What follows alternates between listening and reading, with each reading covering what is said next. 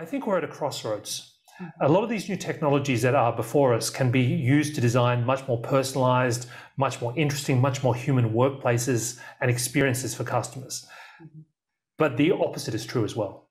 How can we as individuals who are who don't know much about the technology for those i'm asking on behalf of those uh, we can create our own playbooks for our own transformation and to be able to adapt ourselves to this digital transformation?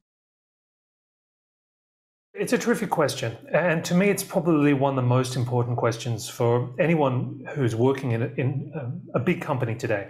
Because sometimes when you work in these very large organizations, you feel uh, a loss of power, a lack of agency.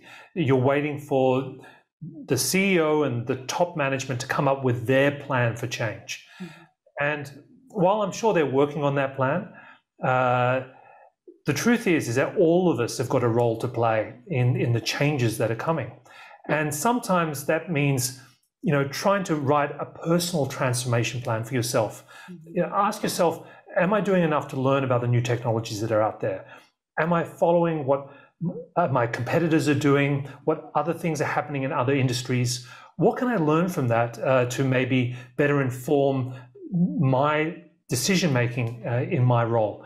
How can I develop new behaviors that I can model to inspire other people around me? Mm-hmm. And I, I think this is a much more positive way of looking at the changes that are happening uh, because there's no point fighting them and there's no point just waiting for people to tell you what to do. I think now is the time to really take charge and take control of this process.